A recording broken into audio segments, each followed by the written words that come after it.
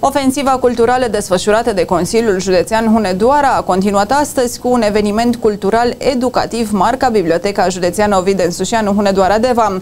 Manifestare dedicată împlinirii a 100 de ani de la nașterea a doi mari regizori români, Liviu Ciulei și Ioan Popescu Gopo. Sub genericul Mari regizori români, Ioan Popescu Gopo și Liviu Ciulei, viața și creația acestor două mari personalități ale cinematografiei, teatrului, artelor vizuale din România au fost aduse în atenția publicului.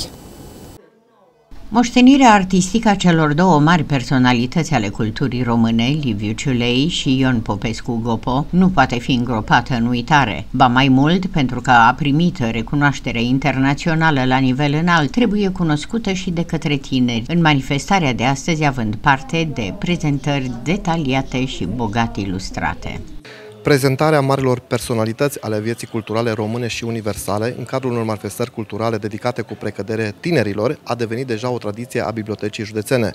Nume consacrate din lumea literară, din lumea artei, oameni de știință, istorici, mari sportivi, evenimente memorabile, sunt tot atâtea subiecte pe care le facem cunoscute în cadrul unor activități pregătite cu mult profesionalism. Dintre reprezentanții celor de șapte arte ne-am oprit astăzi la centenarul a doi moștri sacri ai cinematografiei românești, Ion Popescu Gopo și Liviu Ciulei. Moștenirea lor artistică trebuie cunoscută în special de tineri, iar manifestarea noastră de astăzi credem că le va stârni interesul și curiozitatea.